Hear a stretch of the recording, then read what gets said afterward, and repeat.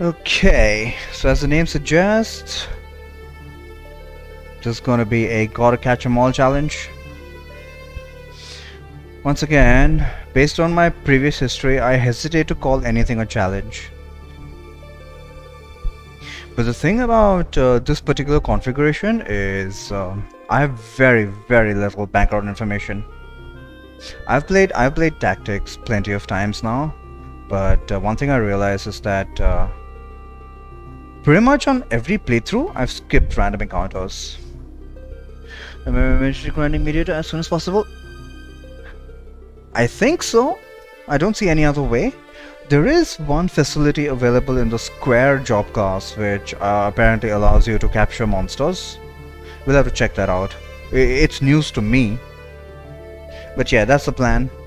We're just going to be grinding Mediator. And uh, I don't know what to do with Ramza, to be honest. Should he participate? If he participates, well, that that we've already seen that he himself can pretty much take on uh, everything in this game.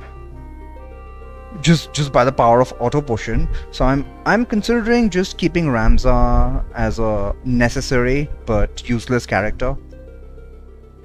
Can i enter story missions without ramza nope. That's a problem so what so um my plan is to just keep him at keep him at level one. Uh, make sure that he's got uh, survivability.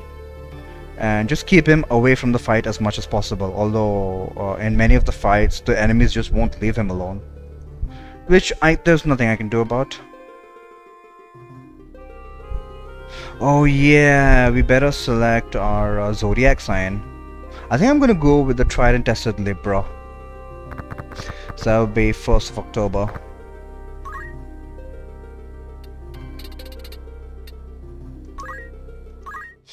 Libra worked really well for me in Ramza Solo. So I, I, think I think I'll stick with that. What other things do we want? Yeah, haven't haven't planned this out at all. So if this turns out to be a difficult challenge, which hmm might may or may not, I'm not sure. Then I'm gonna get my ass kicked. Another thing I want to do is to get as much information as possible. I'm I'm treating this playthrough as purely research because I've got I've got like no information about most of the monsters in this game.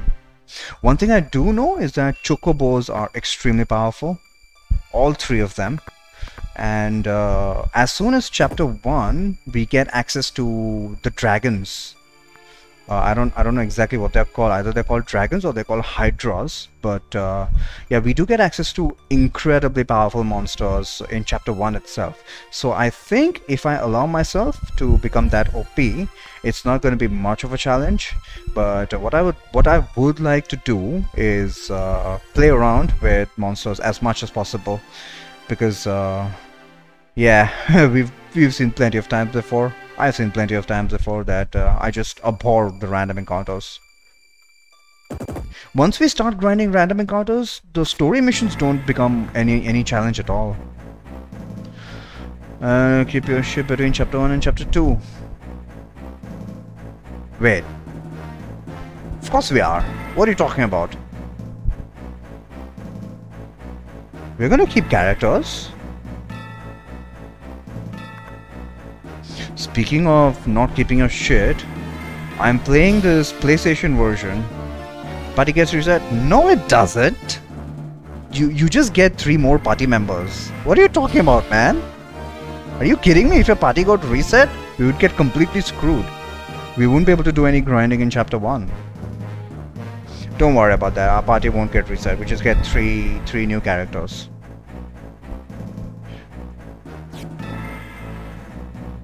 Let's just get through this uh, tutorial battle. Tech speed!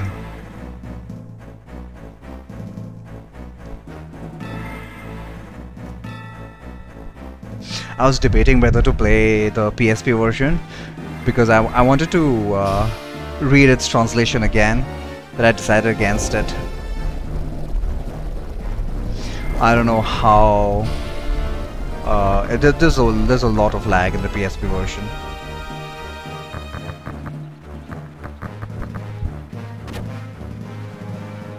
And I don't know how well uh, my potato laptop would be able to emulate it.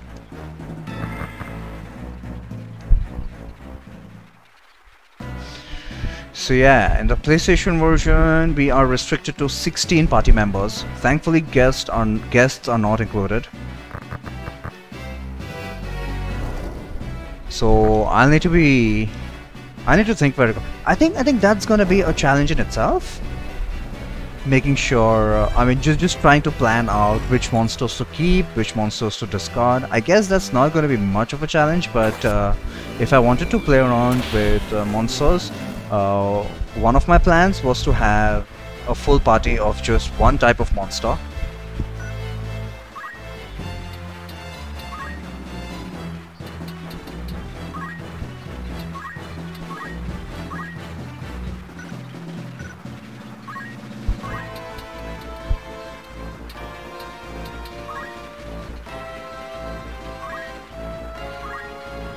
Should I have to get used to this?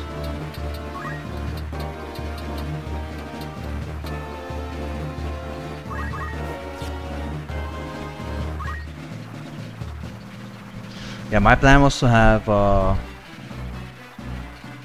five of the same kind of monster, just so that it'll be like a single class challenge. And a single class challenge would uh, help out in figuring out the monster's abilities, who who it's strong against, who it's weak against. But we can't really can't really have uh, too many party members, unfortunately. We are restricted to 16, and I'm gonna have to be very careful about uh, who to include and who to discard. Needless to say, chocobos are going to be a part of it. Okay, that bastard has a potion.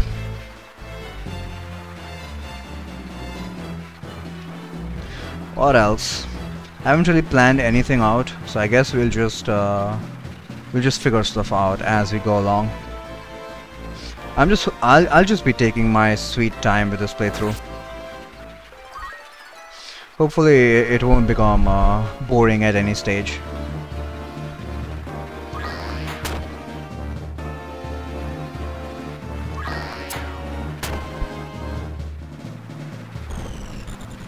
Boring to me, that is. Alright, good. Gafgarion is going after the guy with the potion. I think that's gotta be up. Oh, never mind.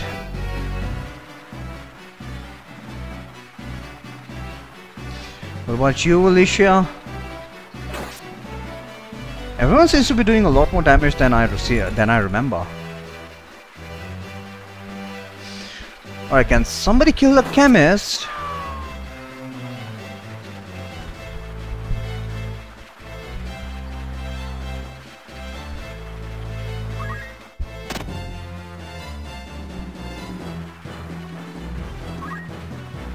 Can't reach the damn chemist. I guess we're killing him. Man, this game feels so slow compared to Front Mission now. How long has it been since I last played Tactics? I think Ramza Solo... Yeah, I just recently played it. How come all of this feels so unfamiliar to me? Uh, I'm just excited for it, man.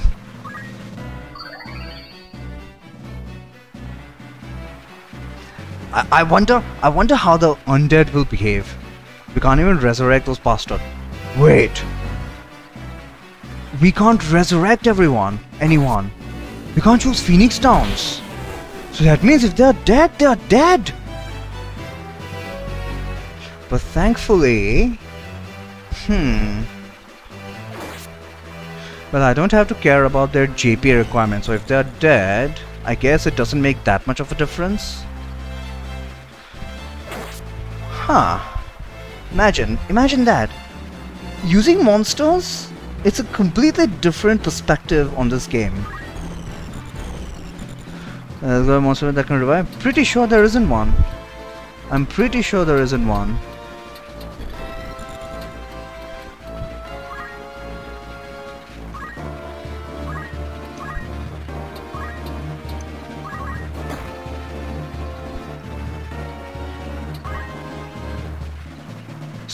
Yeah, we are going to be dealing with permadeath situations, which I have never done in Final Fantasy Tactics before. Oh man, already I'm starting to realize that playing with monsters is just going to be a completely different perspective uh, in this game. So I guess our, our attitude should be don't care if they live or they die, just focus on killing the enemy. All we need is one monster alive at the end of the fight. And uh, yeah, that's it. And I guess between every fight we'll have to create our teams back back again. Speaking of creating our teams, since we don't have to worry about monster JP, we only have to worry about levels. And since uh, monsters, higher level monsters are they're, they're like uh, far superior to humans at the same level. What I'm what I'm also going to try and do is keep the monsters at the at relatively the same levels at the as the enemies. And for that, I probably need to I probably need to look up my previous playthrough to find out what the levels levels of the enemies is.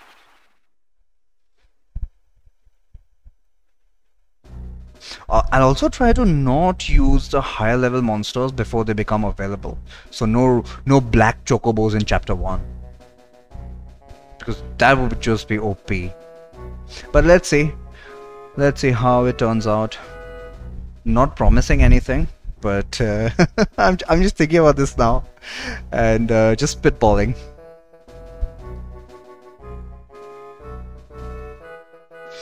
Oh, it's a little money.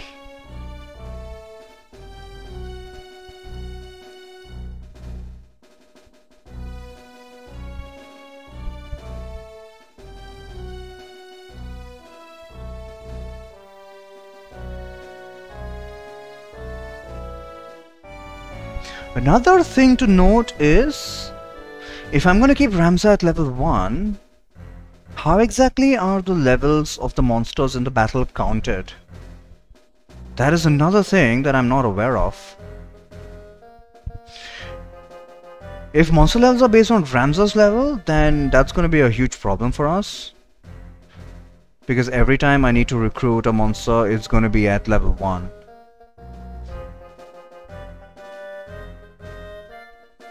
So I might need to level up Ramza, but hopefully not.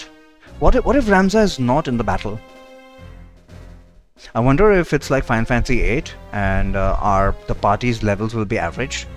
I know when uh, monsters lay eggs, uh, the thing that comes out of the egg, its level is a random number between our lowest, the the party member with the lowest level and the party member with the highest level. So if I want to keep Ramza at level 1 and all the enemies in the random encounters are going to be leveled according to Ramza's level, then uh, eggs, eggs are my only way to get instant troops, shall we say. But I'm pretty sure that's not the case. I mean, imagine going with a level 100 uh, imagine going in with a level 100 party and just because Ramza's at level 1 uh, all the monsters are at level 1 that just makes sense. And as far as money is concerned guess what? We don't have to care about money. Why is this empty